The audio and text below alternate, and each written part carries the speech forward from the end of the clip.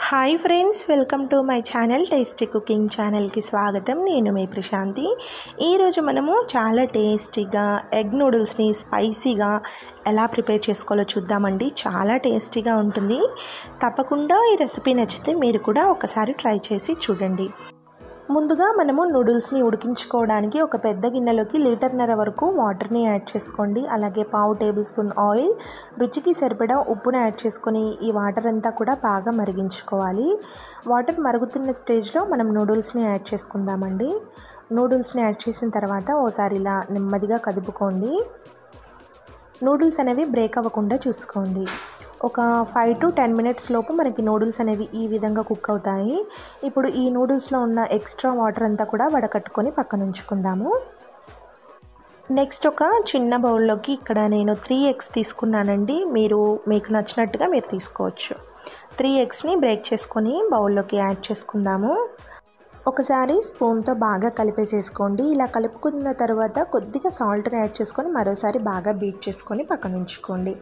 Next ఇప్పుడు stove మీద ఒక కడాయి పెట్టుకొని కడాయిలోకి వన్ టేబుల్ స్పూన్ ఆయిల్ మనం కలుపుకున్న ఎగ్ మిక్చర్ని యాడ్ చేసుకుందాము. ఎగ్ని two to three minutes cook చేసుకుంటే సరిపోతుందండి. ఈ విధంగా చిన్న చిన్న పీసెస్ లాగా కట్ చేసుకోండి. ఇలా ప్రిపేర్ చేసుకున్న ఎగ్ని ఒక ప్లేట్లోకి తీసుకొని పక్కన ఉంచుకుందాము. నెక్స్ట్ ఇప్పుడు ఇదే కడాయిలో one and half tablespoon వరకు ఆయిల్ని యాడ్ చేసుకున్నానండి. అలాగే సన్నగా కట్ చేసుకున్న ఉల్లిపాయ ముక్కలు పచ్చిమిరపకాయ ముక్కలు క్యారెట్ ముక్కలు అలాగే క్యాప్సికమ్ ముక్కల్ని కూడా తీసుకున్నాను. మీ దగ్గర ఏ వెజిటేబుల్స్ ఉంటే మీరు వాటిని తీసుకోవచ్చు. అలాగే క్యాబేజీని కూడా ఇలా సన్నగా పొడవుగా కట్ చేసుకొని యాడ్ చేసుకుంటున్నాను. వెజిటేబుల్స్ అన్నిటిని కూడా ఒక రెండు నిమిషాలు హై ఫ్లేమ్లో పెట్టుకొని ఫ్రై చేసుకుంటే సరిపోతుందండి. ఇలా ఫ్రై చేసుకున్న తర్వాత ఇందులోని మనం కుక్ చేసుకున్న ఎగ్ని కూడా యాడ్ చేసుకుందాము.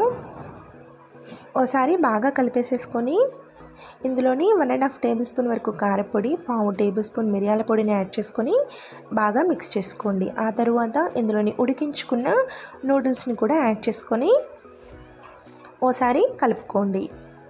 ఇలా కలిపేసేసుకున్న తర్వాత ఇందులోని పావు టేబుల్ స్పూన్ వెనిగర్ పావు tablespoon red chilli sauce పావు టేబుల్ స్పూన్ డార్క్ సోయా సాస్ని యాడ్ చేసుకున్నాను.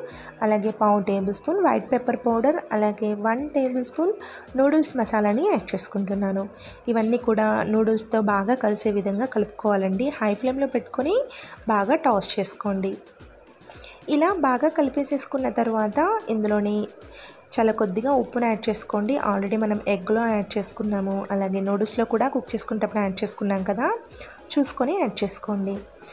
ఇప్పుడు ఈ నూడిల్స్లో చిన్నగా కట్ చేసుకున్న స్ప్రింగ్ ఆనియన్స్ ఉంటే స్ప్రింగ్ ఆనియన్స్ని యాడ్ చేసుకోండి. కొత్తిమీరనైనా యాడ్ చేసుకొని బాగా కలిపేసేసుకొని స్టవ్ ఆఫ్ చేసేసుకొని ఈ వేడి వేడి నూడిల్స్ని ఒక సర్వింగ్ ప్లేట్లోకి తీసుకొని సర్వ్ చేసుకున్న తర్వాత నిమ్మకాయ రసం ఉల్లిపాయ అలాగే స్ప్రింగ్ ఆనియన్స్తో గార్నిష్ చేసుకొని సర్వ్ చేయండి. చాలా బాగుంటుంది. వేడి వేడిగా తినండి. చాలా టేస్టీగా ఉంటుంది. అంతేనండి. చాలా సింపుల్గా ఈజీగా స్పైసీగా ఎగ్ నూడిల్స్ని ఇంట్లోనే ఎలా ప్రిపేర్ చేసుకోవాలో చూసాం కదా. కదా? ఐ హోప్ ఈ రెసిపీ మీ అందరికీ నచ్చింది అనుకుంటున్నానండి. నచ్చితే కనుక నా ఛానల్ని మీరు ఎవరైనా ఫస్ట్ టైం చూస్తే తప్పకుండా సబ్స్క్రైబ్ చేసుకొని పక్కనే ఉన్న బెల్ ఐకాన్ని యాక్టివేట్ చేసుకొని మీ ఫ్రెండ్స్కి రిలేటివ్స్కి మన ఛానల్ని షేర్ చేయండి.